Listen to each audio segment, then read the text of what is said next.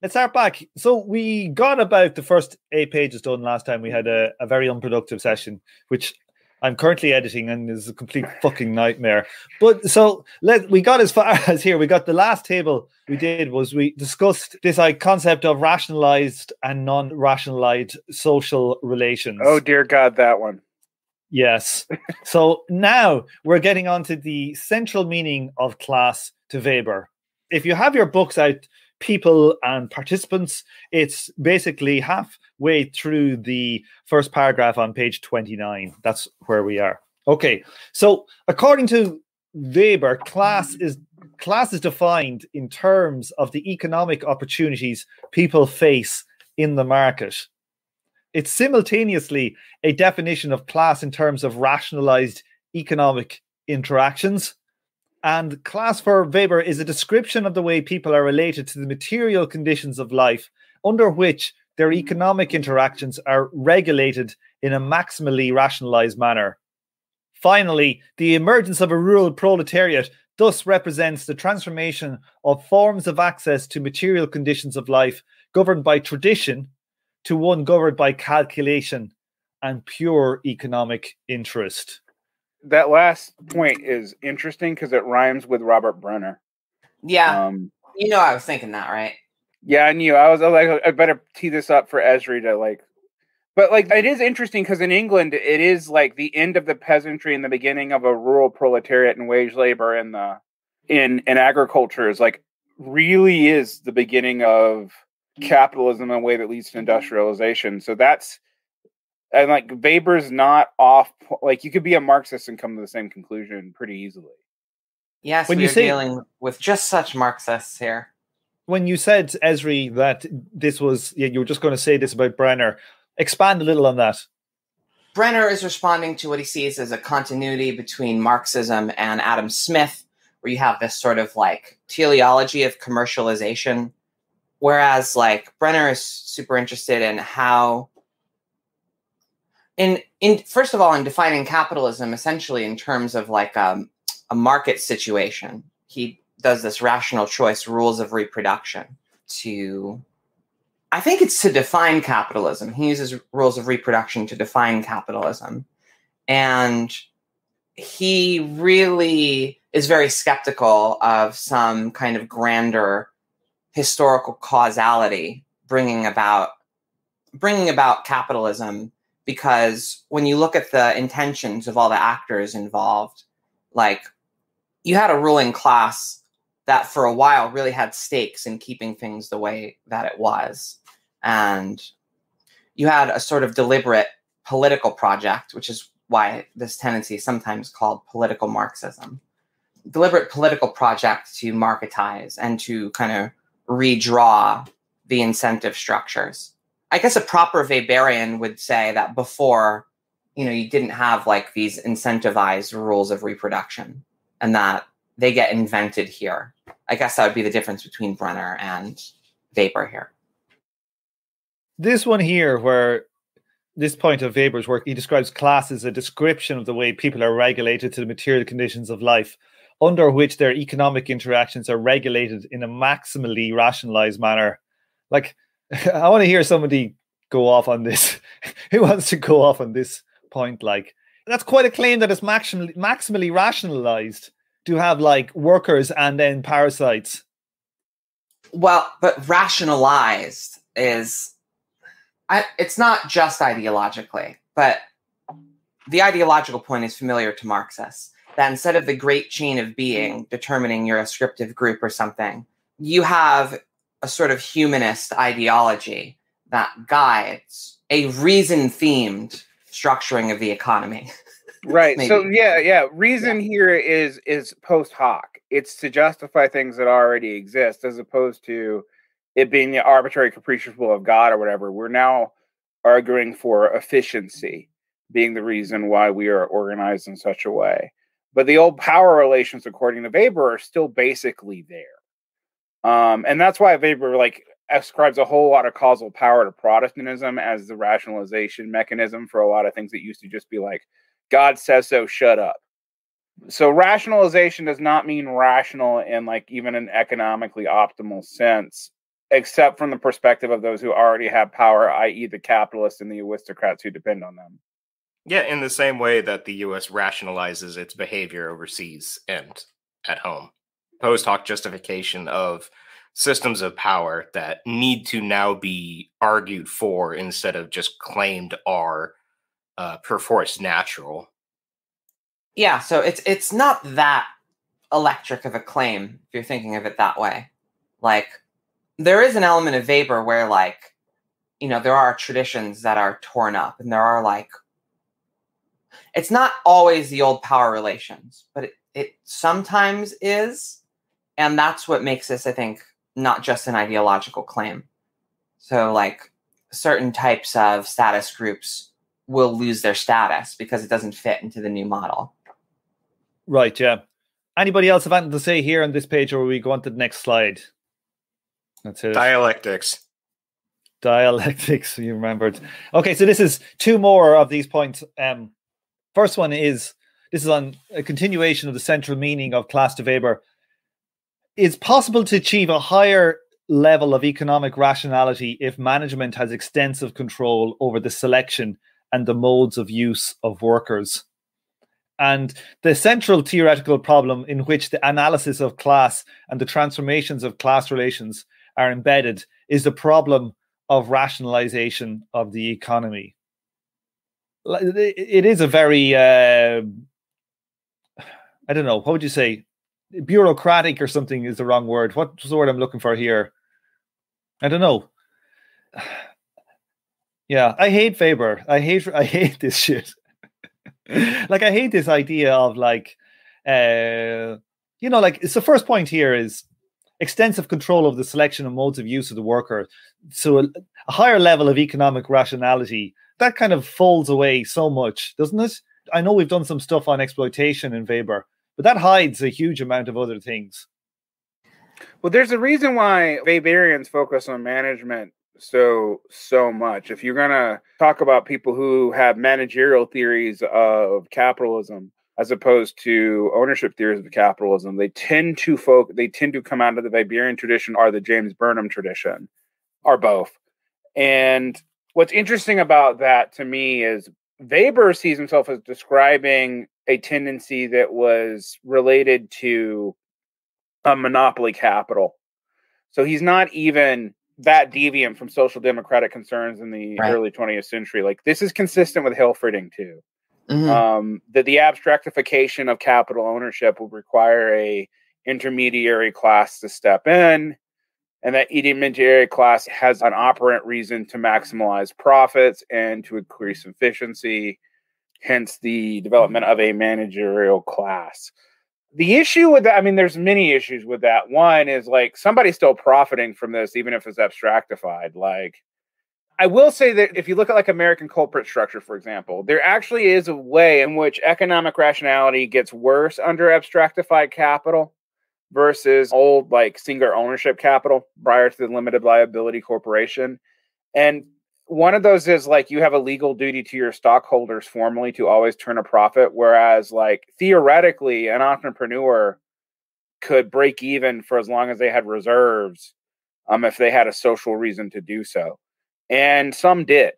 Um, it was rare, but it did happen. Now, ultimately, that's not economically rational, and um, capitalism would break down if everybody did it. So you disincentivize that legally. And so, like, there are things that Weber's coming out of. If you look at the, the, the transition from 19th century capital, you know, like, like pre long depression capitalism to more modern capitalism, he's got some kind of point, but it also, where I agree with you, Tom, it obscures a whole lot because this is like a capitalism, not only without capitalism, but seemingly with the profits being I guess somehow shared or something, and that's not what's going on.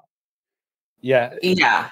It's not just like exploitation in general that seems missing from Weber. It's also this like extractive view of profits, it seems like. Um, I don't know. I kind of don't remember all those other like Weber quotes that we were reading back in the part of the chapter where he's like, well, I mean, Marx and Weber, they're not that different in some ways.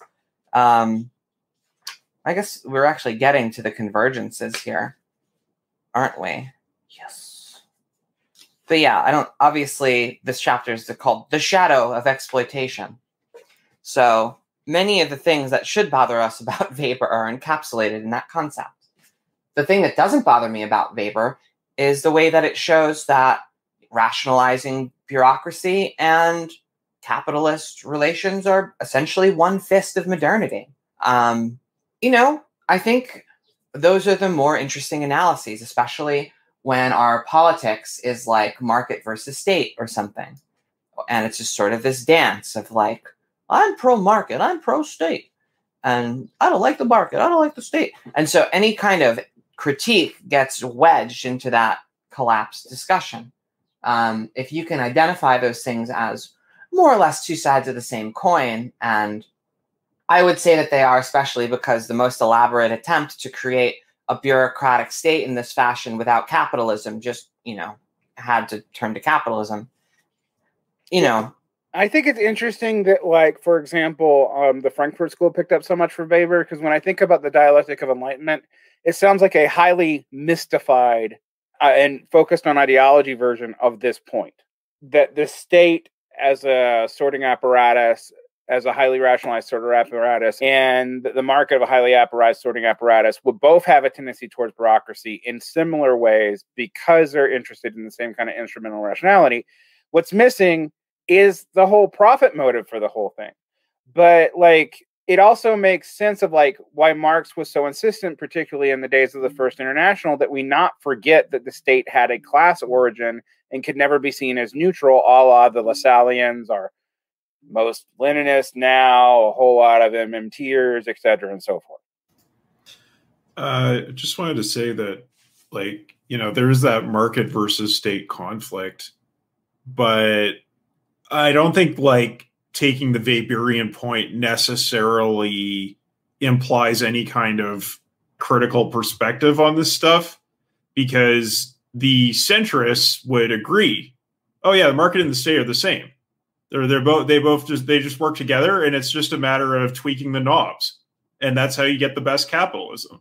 So that kind of Weberianism also exists out there. Yeah.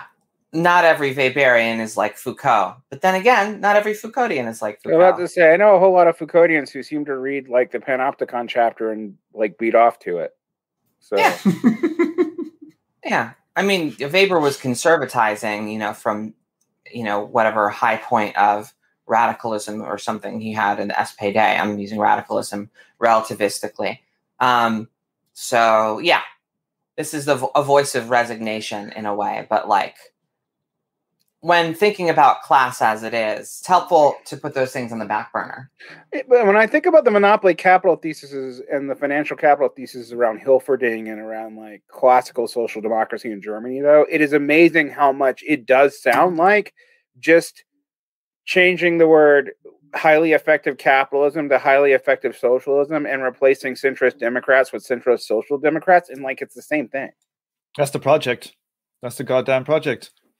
It's um that's funny now. Uh just remember there when you were talking that when I first started getting into Marx, I was back in Dublin and I was telling a, a friend of mine, I said, Oh, I'm reading Marx, I'm reading Capital, and he was going, Oh no, man. He says, You need to after you finish Capital, you need to read Max Faberman. He's fucking he is the real deal. And uh you know, my mate actually is an Ulster Protestant. So it, looking back, it makes so much fucking sense. I rationalized why we own the land. I rationalized it. Oh, fuck's sake. Forgot about that. Um, that's too fucking good. Too fucking good. Um, I won't say who he is in case he listens. Okay. Um, we go on to the next slide, um, where we're getting into the similarities between Weber and Marx on class. Who wants to take this one? Ezri, do you want to take this one? Yeah, sure. So, Weber and Marx on class similarities. Relational rather than gradational. Class concepts. Not primarily identified by quantitative names like upper, upper middle, middle, lower middle, and lower. Identified by qualitative names like capitalists, workers, debtors, and creditors. The centrality of property relations Property ownership is the fundamental source of class division in capitalism. Propertylessness is essentially a coercive condition. Voluntary interactions of the market are simply a formal reality masking an essentially coercive structure of social relations. We go on. Yeah, we go on. I think we'll go through them. Yeah. Classes as places versus class as collective actors. Distinction between classes as objectively defined places and as collectively organized social actors. Class situation versus class in itself class conscious organization versus class for itself. Classes and material interests. Objectively definable material interests as a central mechanism through which class locations influence social action. Material interests are seen as a determinant, albeit a probabilistic determinant, of their behavior. Weber also thinks this material self interest would be more important than ideological commitments in a socialist society. Yeah, we'll stop there. We'll, we'll stop. Yeah, we'll stop. well, I only signed up to read the slide. I think it's interesting that Weber uses the term class consciousness as the same as Lukács, where Marx doesn't, which I didn't realize when I read Weber and read Marx that at the time until I really started looking at class in itself and for itself distinction. So that's an interesting big deal, I think, actually. They're contemporaries. Marx right. isn't. Right. Um, well, it's also a big deal. Then, like Weber realizes that the class can be both things, and I'm going to say, like a lot of modern Marxists pretend that the only class that exists is a class for itself, and that the in itself distinction is just not real somehow, and that's bizarre. But well, it is that's common. Like, that's a re-described nihilism like you don't care about the real class. Like, but it's also it's also top down, isn't it? It's also yeah. like the yeah. tutorial element. Well, it's not and it's like highly instrumentalizing. It's quite disturbing. It's it sounds a lot like the right wing intuitions about this stuff. Yeah, I was I was going to push back a little bit. I don't think it's uh, so much nihilism as a kind of like misanthropy, but I guess it sort of like comes from the same place. Well, it's politically determinist yeah. To the extreme, but it's also politically determinist in the sense that, like, the class in itself doesn't become the class for itself. We, the people who know better, make the class for itself exist, regardless of what the class in itself wants. Um, and that's that's like a naked power grab, and it's also a way of saying like socialism is whatever the fuck I say it is, regardless of anything else but I do think it's interesting how weird that ends up making every. I mean, like it, it does end up making like references to working class, petit bourgeois, and all this almost meaningless. Why do you say that, that Like they're primarily political actors, so their material interests are kind of irrelevant because they have nothing in themselves. They're just forces in politics, right? Yeah, I mean that it, it becomes like like why focus on it even like what was the point of Marxist analysis in the first place if the class in itself doesn't matter? Um yeah, it's also especially antiquarian now that there's basically no formal fighting proletarian force. So this is a premise in the argument that there is no proletariat. like mm-hmm. so you adopt a framework where it's your like it's the meaning of your life is to invent the proletariat. As an as, not, as someone who's from a different class background but who cares about class background or who cares about the objective stuff about class? It's all about what you think. Yeah that like, that's uh, that's something that popped up in a lot of uh, dsa meetings back in 2017 2018 basically like how do we reinvent the proletariat essentially. And uh right. like you can see people spinning their wheels trying to justify like oh uh here's where workers are. We need to coalesce them into a class. And it's like i don't think that works the way you think it does my dude. Maybe they're already a class. And the thing that we want is like i don't know maybe we shouldn't use sociological language for it because this is something that comes up on the excellent behavioral science podcast, Fight Like an Animal, all the time is that like real people very rarely are essentially defining themselves by the central issues that the left is like clamoring over in terms of demographics. It's usually much more specified, like we might call consumer identities, but you know, the kind of real things that people get super into and think in their own lives set themselves apart from other people. It's very hard to get them to be like, "Hey, remember when we all didn't have enough to eat and we, you know, thought thought about things in this other way? Well, we should think like that again." Yes. Um, let's see. Do you want to take the next little section here of similarities as well, Ezri? Or Kyle? I'll, go, I'll do it, sure. So we have the conditions for collective class action. Uh, what are they, DSA? Please tell us. Uh, maybe we'll find out from Weber. Uh, so Weber thinks the emergence of class associations depends on intellectual conditions not simply the result of unmediated, spontaneous consciousness of people in disadvantaged class situations. Where class structures are experienced as natural and inevitable as absolutely given facts, class mobilization is impeded.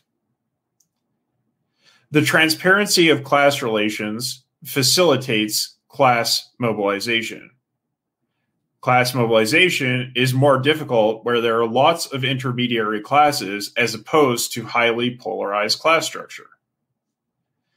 And modern capitalism creates the required kind of transparency for class associations of workers to be likely. So it's all pretty pretty orthodox stuff. You know, maybe with the exception of the first point the intellectual conditions being fairly important in the emergence of class associations.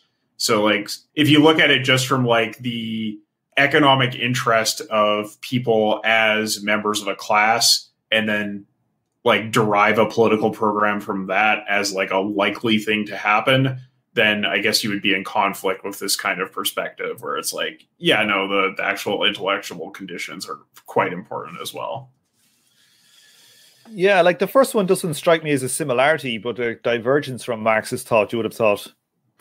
Mm, yes and no. I mean, it's like the, there is the, a certain degree to which, like, you get the vibe in Marx that, like, there's a kind of passing of of the torch from the bourgeoisie to the working class that happens because the working class is drawn into bourgeois political struggles, and a sort of revolutionary tradition comes out of that so there is sort of a argument for the intellectual conditions being important.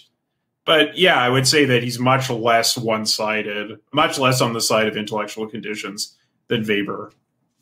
Yeah, I think I would agree with you, Tom. But the reading of Marx that Wright is coming out of is probably more like Weber in this way. But I think mm. you're right. Hmm. You know, it's certainly part of the Marxist tradition. Yeah, I mean, like all this stuff about shaping the class for itself, like you see all these discussions happening among the Bolsheviks in their like early period of action activity, right? Like we need to invent the the class for itself, all this kind of politically motivated discourse. Um, it's it's there. Okay. Anything else here in this bit that uh, anything surprising here for anybody I mean, I don't think this is surprising, but like, you know, this transparency of class relations thing really echoes Marx's point about capitalism being the first mode of production, where like the history of the modes of production is understandable, right? That point that he makes in like chapter one of Capital, I think, is definitely you see echoes of it here. Yeah, I also think the Weberian interest in private property is pretty significant because when you talk to most socialists today, that is their bugaboo right? It's not abstract domination of capital, or it's not even necessarily the reemergence of class relations in a non market setting.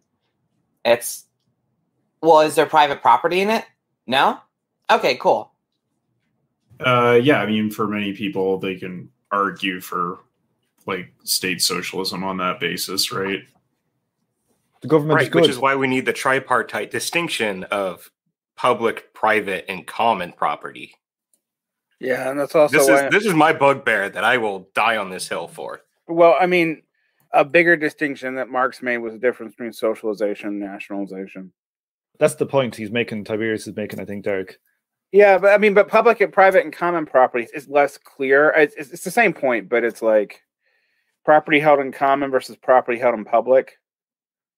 I mean, I think this did sort of become relevant in the Russian Revolution, right? Where there's the debate over like, should we socialize the land or should we hold it in common among the peasants? Or should we make it state property? Or should we make it, uh, you know, privately held property? Like all of those things were being debated at that time. When you say the socialization of the land, what do you mean? What, what's in between that and common and state property? Well, it's common to society. It's not common to the villages as sacks of potatoes. Bingo. Mm-hmm. As in, the village doesn't own it; it's everybody owns Yeah, it. because because in Russia it was common, but it was common to the village, and you know it was managed from the perspective of the village, not from the perspective of society. Right. Okay, And- yeah, yeah, yeah. And nationalization is from the perspective of the nation. The state, yeah, Um, yeah. yeah. So but you have three different perspectives, and like if you imply common as like local municipal ownership or local community ownership, I actually oppose that. Um, Yeah, me too. That's closer to kind of an anarcho-syndicalist kind of approach. Our feudal serf kind of approach. Yeah. Oh, yeah. Let's have it. Let's have it. Tiberius, I assume you were where you agree with your talking about socialization.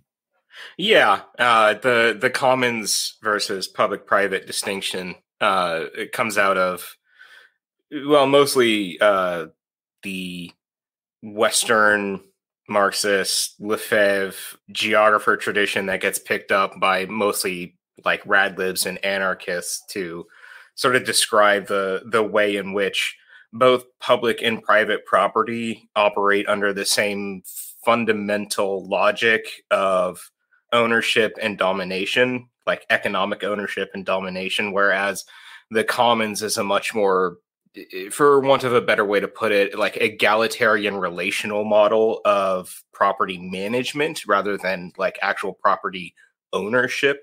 So the commons is sort of seen as a version of property whereby uh, the land exists, is accessible to all, and it's managed by the people who uh, find use in it by essentially entering into relationship with other people who have either aligning or competing interests in using that property.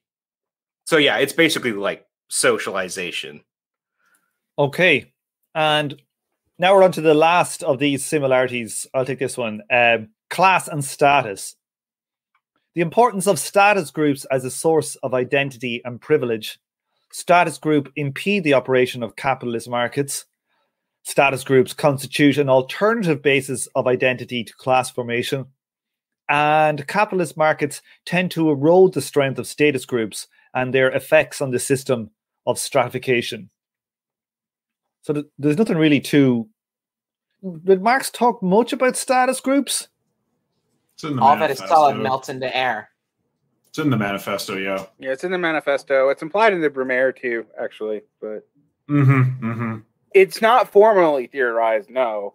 And I mean, it may have been if Marx ever got to like volume five of Capital, where he talked about stuff that, No, But- volume five is the aliens. That's the Posadist one that he didn't get Yeah. around to. Yeah, um, strata and aliens and dolphins. That's that. Yeah, volume Those five. are the three ascriptive status groups and Yeah. communism. No, no, there's also the violin playing dolphins. You forgot about them.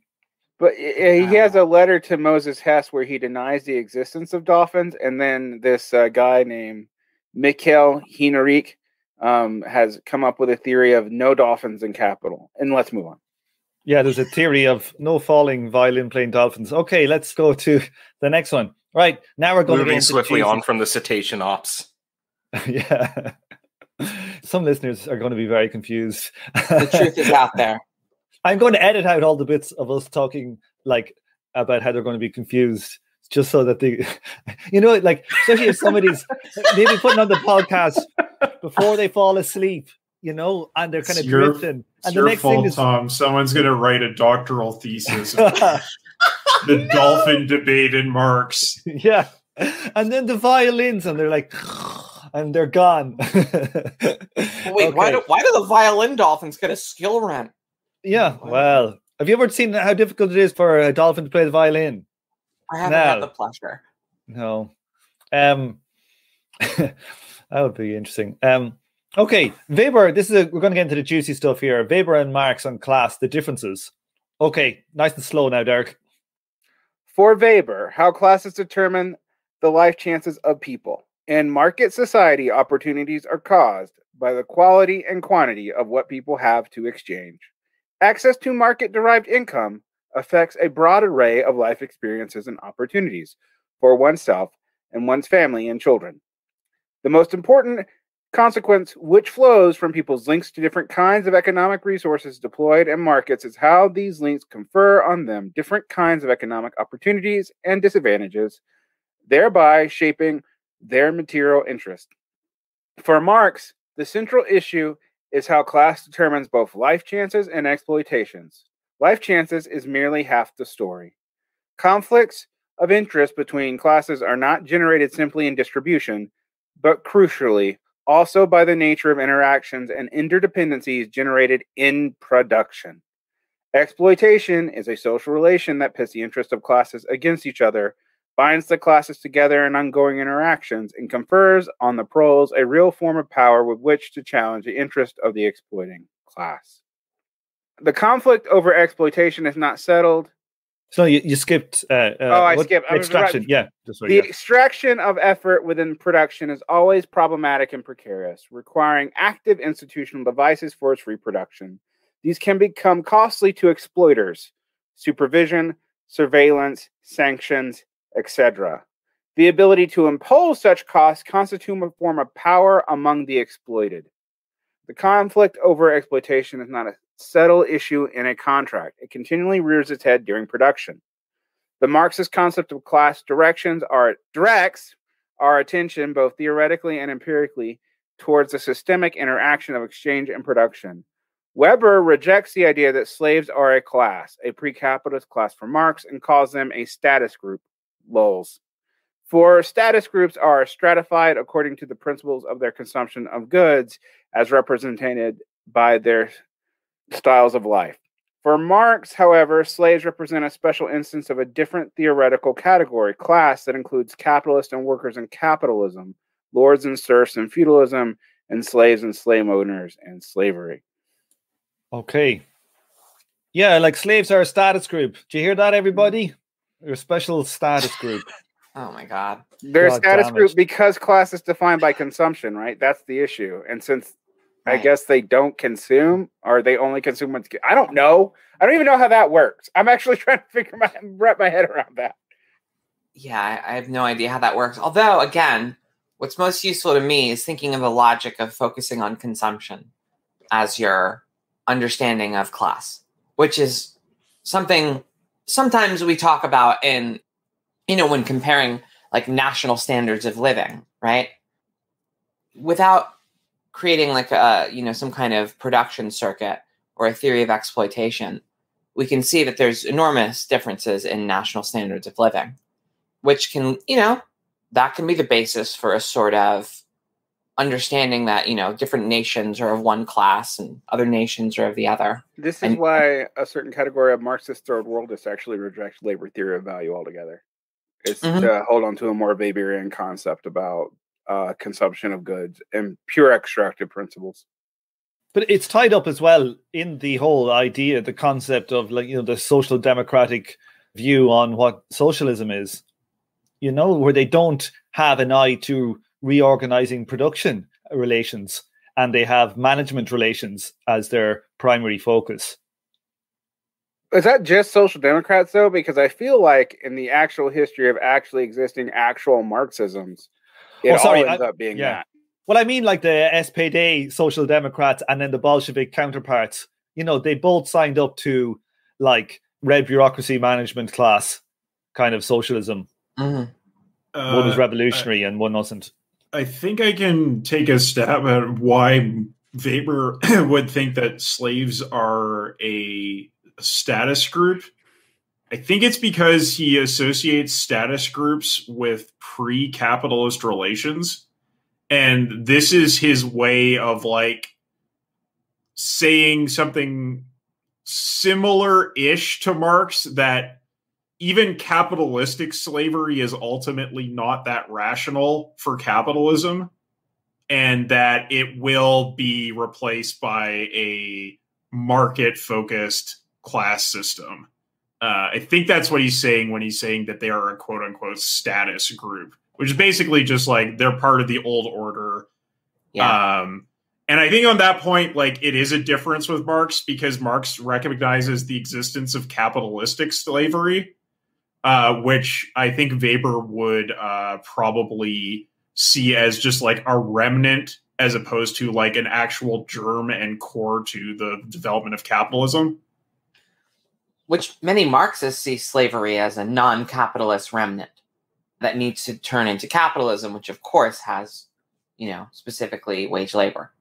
Yeah, um, it's weird because you don't really get capitalism without slavery. So, like, right. if you actually look at history, so yeah, the sort of like Uno school, ultra abstract version of capital doesn't include it, but actual historical capitalism definitely does. Mason in the chat says that uh, 55 Weber Economy and Society 928. I presume that's a. I presume there's a page like footnote. Footnote.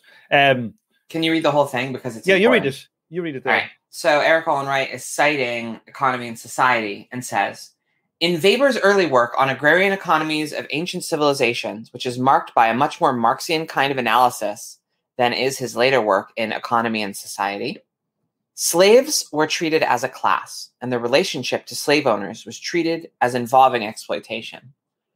So, okay, Weber coming out of SPD apparently did have a sort of Marxian view of slavery, at least in his early work.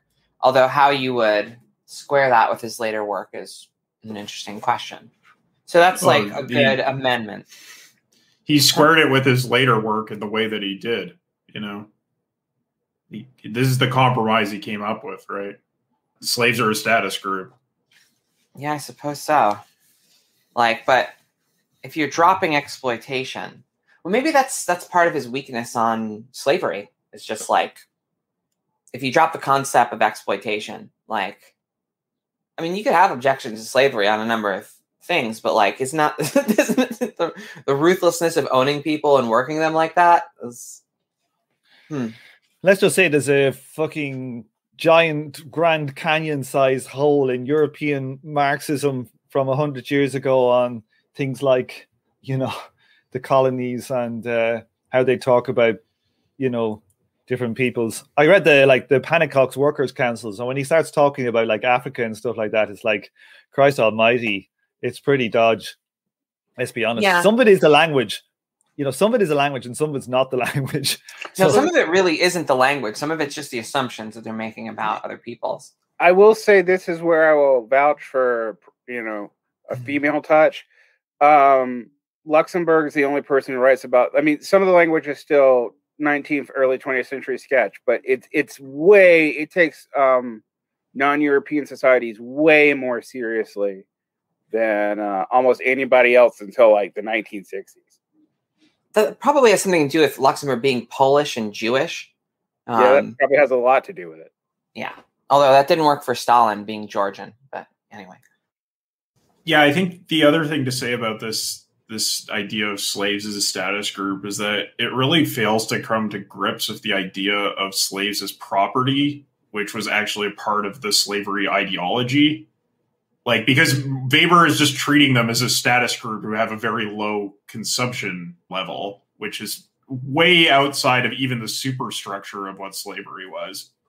That's weird because he has the notion of private property being important, or, well, I guess that's for capitalism so yeah, having this like hard modernization framework where, you know, and I mean, look, there is like a pretty big break between pre-capitalism in history and capitalism. indicated by the fact that I'm fucking calling it pre-capitalism, which isn't like a real category. But it's too transhistorical. Like, how do I put it? It's too like historicizing, I suppose. Like, there's still some like human economic dynamics that were present before rationalization. I mean, of course, Marxists would say that, right? Aye. Okay, I think are we good here? To, is there anything else that people want to speak on here on the differences? I think the other part of it is in that um, the status group has the ability to uh, the level at which you can actually interact with the market. I think there's a there's a bit of that that makes a kind of subjective sense in a way because that's how most people like understand their economic position. And that's why when people say like middle class, what they mean is having access to uh, markets of commodities at a certain level, because that's most people when they're sort of like understanding their position within the economy, they they're not really thinking about like property or the these kinds of relationships between like the worker and the owner of capital. It's what is their ability to get material things and how what is their relationship to their immediate managers essentially. And so like there there is a way in which the the actual fundamental reasons why things are the way they are are occluded by the way in which people actually on a day-to-day basis sort of like interact with the rest of the world. It's commodity fetishism right? I, I would say it's probably the closest to the way that people look at choosing a major in university based on like which corporate group which class in the Weberian sense will this put me in and what kind of consumption goods will I get out of that? As opposed to the like, you know, fully positional, just like, oh yeah, I am this thing, I get this stuff. That's how it works out. Yep. That's why you should never do a philosophy degree, everybody. Okay. Let's Yeah. No one's ever done anything meaningful with a philosophy degree. Certainly not a PhD. Okay. Um, the not, I mean, you, you, could run half the Asian continent. Oh, oh yeah, I Who's forgot that? about that. Who? Daddy G? No, Stalin. He was a. Oh, oh wait, he no, he was a poet. poet. Never mind. He was a poet. Yeah, damn it. Yeah, he was Varn before Varn. He was in. He was in seminary. That's why Derick writes poetry. It all makes sense. Derick was also religious. Oh my god. Proto clergy at one time too. So from Georgia. Oh my! What? Oh my god, Georgia! From Georgia. Don't god. give me an industrial machine. Derick, what would you say you were going to go into religion? Were you going to be like what? Rabbi, I was a Shramana. I was I was uh I was training to be a Buddhist monk. Holy shit bags. Yeah. Well, right. that is. And were you forced to do it by your mother? Powers. That's the thing. Were you forced to do it by your mother, Derick? No, it was not. And I um I, and I had oh. a public school education like a good pro. I wasn't sent to any fancy private Jewish seminary. or Buddhist school or seminary or anything. Yeah. Okay. No, that's fair. So we'll let Derick rob the banks for us, but we will not let him touch state power. That's so. Don't make me general secretary, or you're all dead. so, hey, philosophy degree doesn't sound so bad now, does it? Yeah. Right. okay. Um. Oh yeah. More differences. Let me read this one here.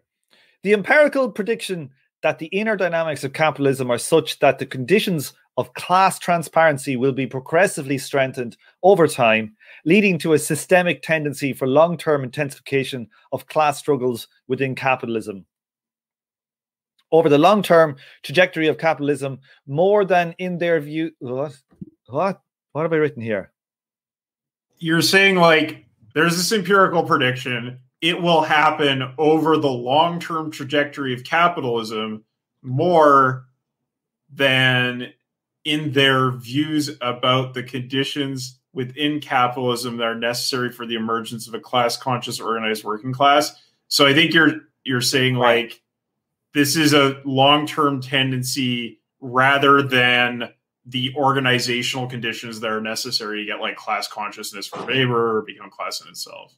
So they disagree about the likelihood of the conditions coming about, but they agree on the conditions.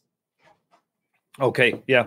Um, and finally, Weber believed the development of capitalism was producing a much more complex class structure, less vulnerable to polarized struggle. Yeah, there you go. Yeah, so they're like, this will be answered by history this point. I think some of the other stuff is much more uh, us able to look at existing class relations and the functions of our society and come down on one side or the other. When it comes down to like this, this is this is the big if for 21st century communists. You know, will we see the reemergence of a class for itself? Are the conditions underway in, say, developed capitalist countries towards class for itself dynamics? Or are they going to just be class in itself? I will say that for the period that Weber is writing about, and you know, for the period that Marx is trying to predict about, Weber is correct, right? Like it strays quite a bit from the naked class situation. That's Weber's term for the polarized class struggle, and ends up with you know a lot of gobbledygook in the middle that make it pretty hard to have a Manichaean sort of class conflict view of the world. In the 21st century, we might see something else. But at least for the period that the thinkers in question are talking about, this is a check in Weber's column. But like uh going kind of slightly against that, would we not say that like even the time of Weber is about that even Germany was like had huge peasant population. What was the peasant population in Germany around the turn of the century? Was it 50%? You know that these dynamics weren't even they weren't even that developed, you know, such that like the proletariat would actually be able on their own to really do stuff very well. Yeah, but Weber isn't talking about the pre-capitalist situation. He's talking about like full capitalism as capitalism configures and reconfigures and you know gets its hands yeah. all over society. Marx assumes not just a long run tendency, but something more imminent of proletarianization, of liquidating the middle classes. Right. And while I think Marx is probably correct in the long run, you know, for the period of time that they're talking about, uh, Weber's right. Does that make sense? yeah, it does make sense. What I would, what I would say is interesting though that that we're hitting on is that Weber is still not dealing with the fact that the peasantry was lingering on longer than it should have, and no one seems to have been able to deal with how fast the peasantry seems to dissolve. Like when the peasantry dissolves in a country, it like dissolves seemingly in five years.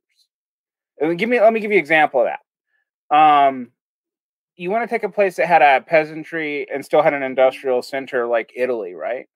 Southern Italy is still probably 40% peasantry as late as 1970.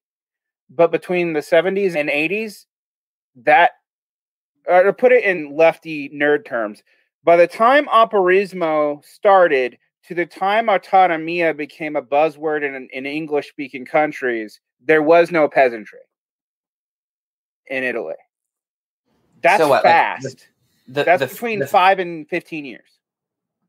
So, like from the 50s?